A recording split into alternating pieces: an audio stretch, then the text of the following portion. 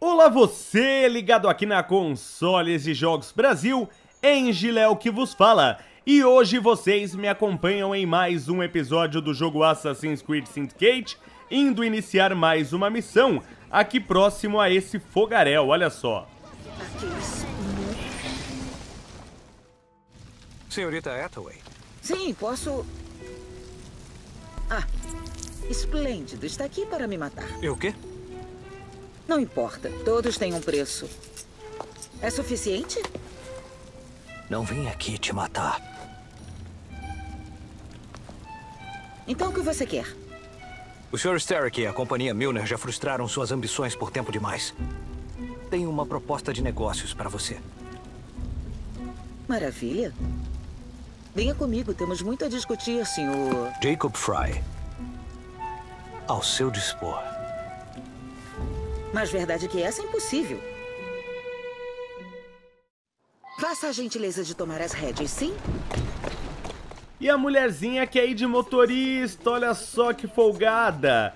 Virei motorista. Essa aí com quem eu falei agora é a senhorita Pearl Hathaway. Ela seria aqui uma empresária. Ela é dona de uma empresa de transportes coletivos. Até onde eu sei, senhorita Pearl Hathaway não existiu de verdade. É uma personagem aqui do jogo. Aparentemente, só existem aqui duas empresas de transportes coletivos. Essas empresas são rivais e a empresa rival botou fogo no meu veículo. Aquele veículo lá pegando fogo era um veículo não meu, era um veículo da senhorita Hathaway. Então eles colocaram fogo, eles querem acabar com a empresa da senhorita Hathaway, claro que ela não é a coitadinha nessa história, não. Ela também quer o monopólio dos transportes e agora se juntando com Jacob, é capaz disso acontecer. Eu senti que o Jacob arrastou uma asinha pra senhorita Hathaway, vocês não sentiram isso? Eu tive essa impressão, caramba, que veículo rápido. Não é que esse veículo aí na frente que eu preciso pegar é rápido. O meu é que é lento. Esse ônibus, eu posso chamar esse veículo de ônibus porque é puxado por cavalo, mas até aí é um cavalo de potência. É um só que tem ali na frente. Não deu nem pra perceber, acho que são dois. Não, é, são dois. Dois cavalos de potência, já tá bom. Ah, acabei com o carinha, legal.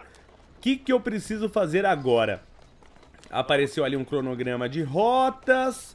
Preciso ir ao pátio de estocagem da Milner. Milner é a empresa rival, é a outra empresa de transporte coletivo. Calma agora. Onde, garota?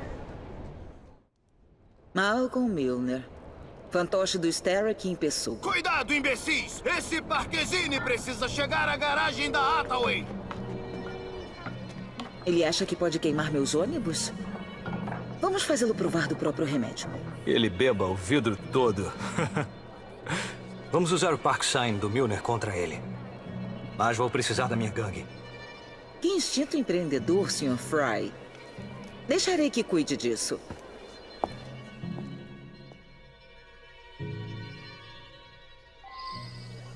E já que a senhorita Hathaway chamou o veículo de ônibus, eu vou chamar de ônibus também. Encontre um jeito de destruir os ônibus. Bom, eu posso recrutar esses caras. Recruto eles, vou precisar de ajuda. É claro, tem uma galera lá dentro. E eu posso mandar eles lutarem. Olha só, apertando o RB, eu mando eles lutarem ali. Deixa eles lutarem. Olha só que pessoal rápido. E aí eu dou a volta e tento destruir os ônibus. O pior é que tem um carinha sozinho ali do lado direito. Eu acho que aquele carinha vai me atrapalhar. Não, ele vai correr também. Ele correndo também, eu posso pular aqui e acho que ninguém vai me enxergar. Ah, não me enxergaram. Olha só, eu achei que... Também já morreu todo mundo, caramba! Esses três caras aí são três nós cegos. Eu deveria ter dado upgrade também nesses meus capangas aí. Eu posso dar upgrade também neles. Não fiz isso. Bom, vou ter que lutar com todo mundo. É legal que eu mostro o sistema de combate. Olha que eu tô deixando todo mundo atordoado. Quando você deixa mais do que um atordoado e você vai matar, imagina que tem três caras atordoados. Aí você vai matar um dos atordoados, aí entra nessa cena aí matando todo mundo. É bem legal. É interessante entrar na luta aí pra mostrar isso pra vocês também. Olha só, um atordoado, seu atordoar mais um, entra numa cena bonitinha. O cara lá tá parecendo o Corcunda de Notre Dame. Tomou a facada, atravessei. Nossa, você tira a faca de um, bota a faca em outro, é um barato isso aqui. Algo bem legal nesse jogo é o destaque que esse jogo dá para as mulheres.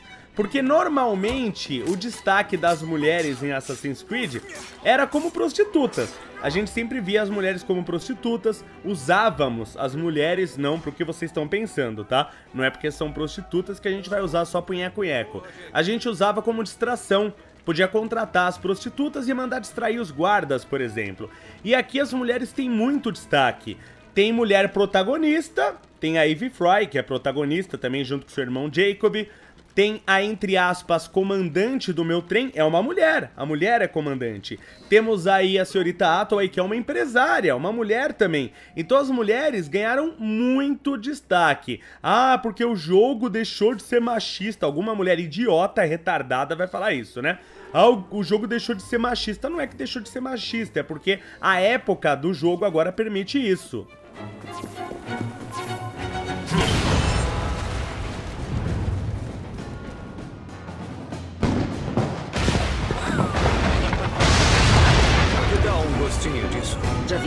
Ações da companhia Milner despencando. Está contratado. Oh, tem umas negócios planejados para nós. Deixe uma nota com minha secretária para marcar uma hora e revelarei o próximo passo do nosso plano. Na verdade, não trabalho. Desse jeito?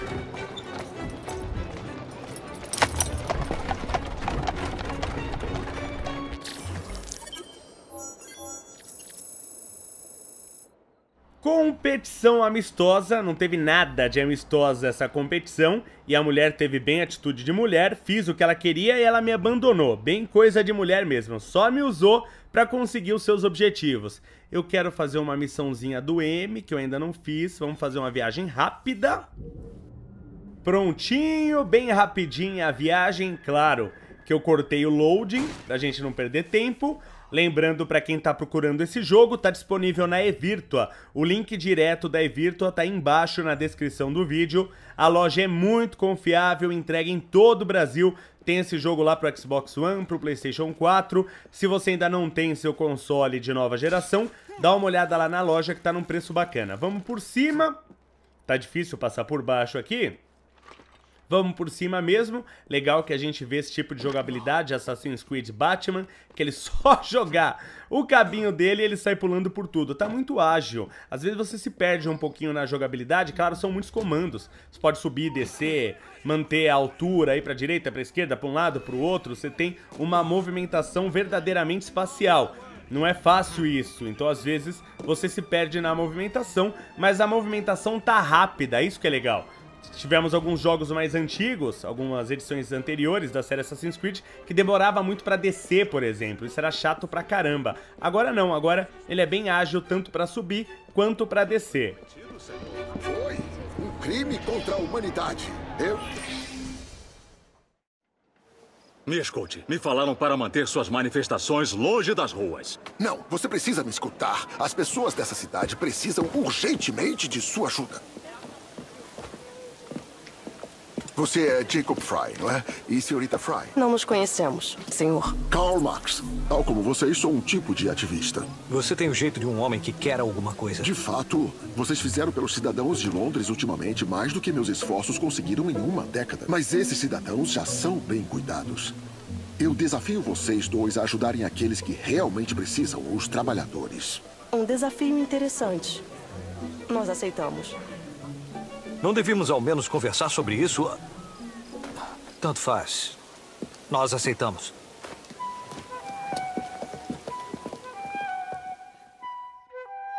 Estou organizando uma reunião discreta com alguns amigos que pensam igual para discutir sindicatos. Porém, a polícia... E olha só quem aparece aqui. Karl Marx, um dos maiores canalhas da história da humanidade, praticamente o pai da hipocrisia, um dos maiores hipócritas que já existiu no mundo. E é verdade, quem tem tendências comunistas, socialistas, esquerdistas ou é retardado mental, que é mais ou menos a mesma coisa, né? Lógico que vai discordar, mas o cara é um canalha.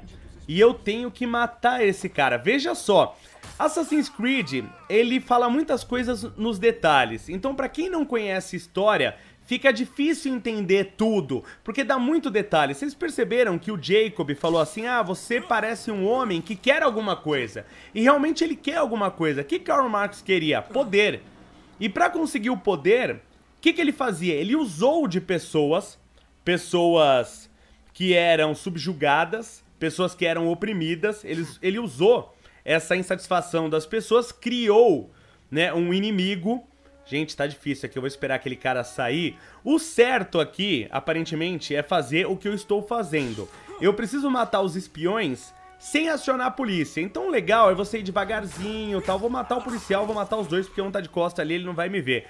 Eu não sei quanto tempo eu vou ter paciência, até quando eu vou ter paciência para fazer isso. Daqui a pouco eu me irrito e saio matando todo mundo. Peguei o cara sem querer, né?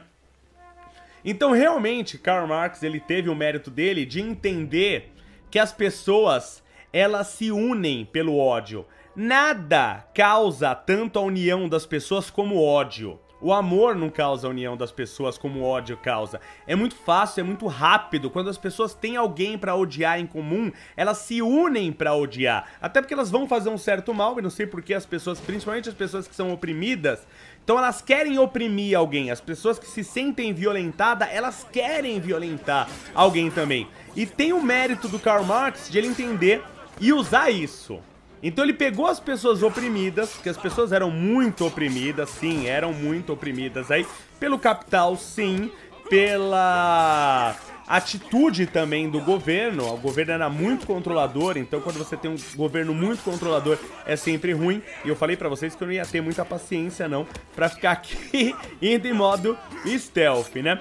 Eu penso da seguinte forma: você pode falar que você quer mudar o mundo. Eu já vi inúmeras pessoas com ideias para mudar o mundo. Eu já vi gente aí que falou que ia apoiar crianças com câncer e na verdade usou as crianças com, com câncer para conseguir publicidade, para conseguir visibilidade. Já vi coisas assim, por exemplo.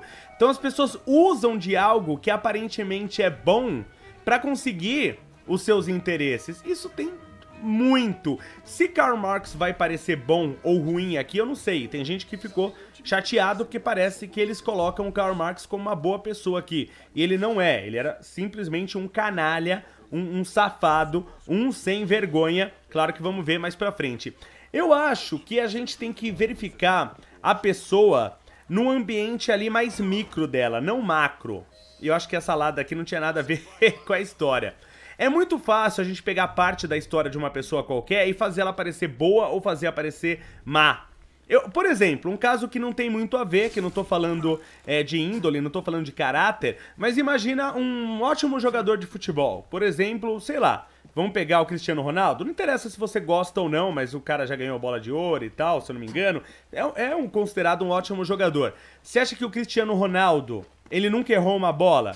Ele nunca chutou e deixou escapar a bola, ele nunca tropeçou, nunca caiu. Claro que ele fez. Só que o que ele fez de bom é, superem muito o que ele fez de ruim. Agora eu posso pegar aí, sei lá, em toda a carreira do Cristiano Ronaldo ou até do Pelé. Eu posso pegar de qualquer um desses dois grandes jogadores, pegar 20 lances ruins que o cara chuta a bola e erra, que ele tropeça, cai no chão, que, sei lá, bate nele e vai para fora porque ele não tem domínio. Pegar 20 lances ruins, fazer um vídeo e quem olhar esse vídeo vai falar: "Nossa, mas esse jogador é ruim pra caramba". Claro que todo mundo já sabe da qualidade do Pelé ou do Cristiano Ronaldo, mas eu posso pegar uma pessoa não tão conhecida, fazer um vídeo assim, um jogador espetacular, eu posso fazer ele parecer ruim. Então não sei o que, que eles pegaram aqui no jogo, nós vamos ver mais pra frente isso, vamos ter mais detalhes, é claro. Agora, eu acho importante para saber a índole de uma pessoa é ver como essa pessoa age no seu dia a dia. Se essa pessoa trata bem os seus familiares, as pessoas que trabalham com ela. Eu vejo muita gente, por exemplo, que distrata os pais Porque pai tem aquele amor incondicional, mãe tem, vó tem. Quantas pessoas eu já vi que distrata a avó, xinga a avó, trata mal a avó, às vezes agride a avó. Aí essa pessoa às vezes tá saindo na rua, às vezes tá até fazendo um vídeo aí no YouTube querendo dar lição de moral para você, querendo falar temos que mudar o mundo. Para mudar o mundo é assim, é assado, vamos fazer isso, vamos fazer aquilo. Olha só, como eu enganei todo mundo. Mandei meus capangas pra cá. Meus capangas chamaram a atenção do, dos policiais, policiais vieram com carinha que eu tinha que assassinar, voltaram, deixaram o carinha, fui lá, matei o cara de boa. O local de sempre. Uma hora. Está certíssimo, Sr. Marx.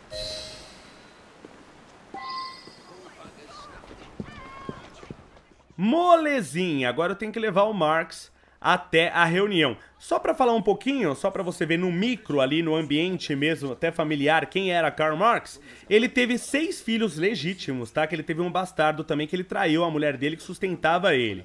Então ele teve seis filhos legítimos. Dos seis filhos, quatro morreram na infância e duas se suicidaram. Olha quem era Karl Marx. Nem dos filhos ele teve competência de cuidar. Gente, o que, que eu tenho que fazer aqui? Peraí, peraí, peraí. Bom, eu tenho que só seguir ele. Aparentemente não tem mais ninguém que eu precise matar aqui. Quem te disse? Max estará aqui. Ouvi dos lábios dele mesmo. Agora, meu pagamento. Você vai receber o seu dinheiro, amigo. Não se preocupe. Parece que o movimento está fadado a ser traído internamente. Você poderia trazer o cavalheiro até aqui? Quero olhar nos olhos dele. Você vê, conheci Karl Marx. Quantas pessoas vão ter que morrer por causa dele. Porque interessa para ele a causa comunista, socialista, nazista, é sempre assim. O mais importante é a causa. Se alguém tiver que morrer pela causa, vai morrer pela causa. Não interessa se é inocente, se não é inocente. Olha quantas pessoas estão morrendo. Então imagina uma pessoa que quer mudar o mundo, que quer fazer um mundo melhor para todos, mas não teve competência para cuidar dos filhos. Ele largou os próprios filhos. Os filhos morreram de fome. Ele não cuidava dos filhos. Ele não morreu de fome. Ele comia bem, passava bem, casou com filha de barão, olha só que malandrão. Os pais dele também eram bem de vida. Ele era descendente de judeus, o pai era advogado, era de uma família bem de vida, né? Casou com uma mulher bem de vida, mas era um vagabundo. Ia torrando dinheiro, torrando dinheiro, torrando dinheiro, só fazendo canalice, deixou os filhos morrer de fome. As duas, imagina, as duas filhas se suicidando, né? Claro, se eu fosse filho de Karl Marx, eu me suicidaria também com um pai canalha, vagabundo, desgraçado desse. As filhas, pior disso, as filhas admiravam os pais. Né? No caso, o pai, o Karl Marx, admirava e acabaram né, é, se relacionando com pessoas igual o pai, né? Pessoas que tinham esses ideais também socialistas, comunistas, ou seja, canalhas, hipócritas. Uma das filhas se suicidou porque descobriu que o marido esquerdista também roubava o dinheiro dela para se encontrar e para sustentar a amante. Olha só, se suicidou por causa disso. Por quê? Porque quis um alguém canalha como um pai. Então dá pra falar que um ano, a gente não tem nem tempo, daqui a pouco eu já levo o traidor ali, mas dá pra falar um ano sobre como Karl Marx é um canalha. Milhões de pessoas morreram no mundo por causa das ideias deste canalha realmente tem coisas que ele percebeu que estavam errado na época, só que ele não usou isso porque ele queria fazer o certo. Ele não apontou as coisas erradas porque ele queria o certo. Ele apontou o errado para quê? Para ele conseguir apoio para sua causa. Ele queria apoio para ele, porque ele queria poder. E aí usava as outras pessoas, como fez, por exemplo, o PT, não usou os pobres e tal. Cadê os pobres? Mais pobres agora, pagando um absurdo de conta de luz, e todo mundo no PT milionário.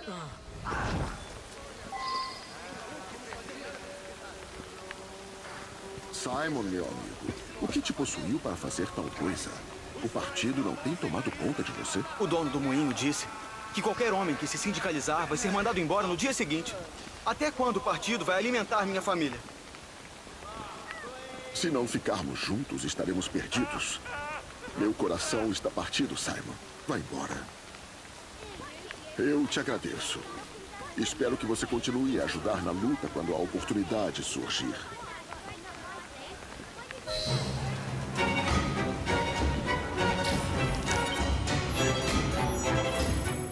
Gato e rato. O rato aqui, claro, que é o Marx, né? Que é um rato. Deixa eu pegar já esse assassino. Já que ele passou aqui, vamos pegar ele. Tem outro assassino ali do lado.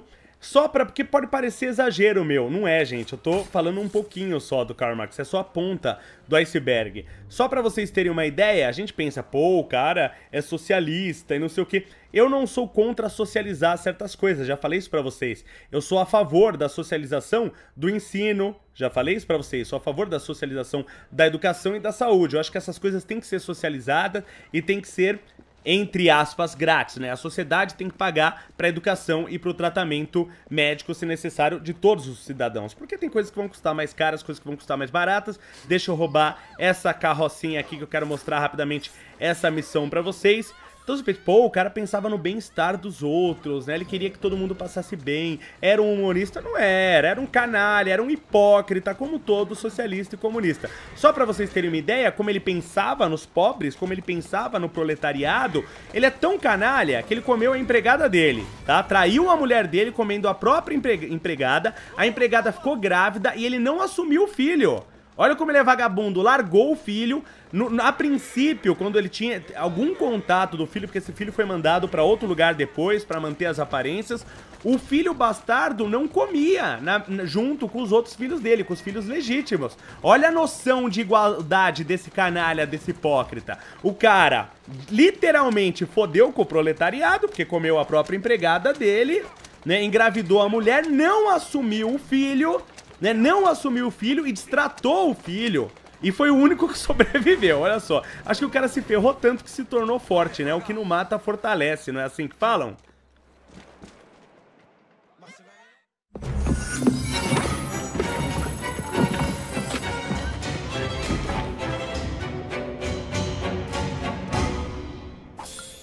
Mais uma missão rápida completada e hoje era isso que eu queria mostrar pra vocês. Espero que vocês tenham gostado do vídeo. Me desculpe pela indignação, é que eu acho um absurdo que existam pessoas que sejam tão estúpidas que admirem um canalha como esse, um hipócrita, um mau caráter como era, como foi Karl Marx, então me desculpe de eu estar um pouquinho assim, né, desse jeito hoje. Mas é isso aí, galera, espero que vocês tenham gostado do vídeo. Se gostou, deixa o seu like, se possível, deixa o seu comentário. Hoje eu vou ficando por aqui, desejo um ótimo dia a todos e até o próximo vídeo. Valeu, até mais, fui!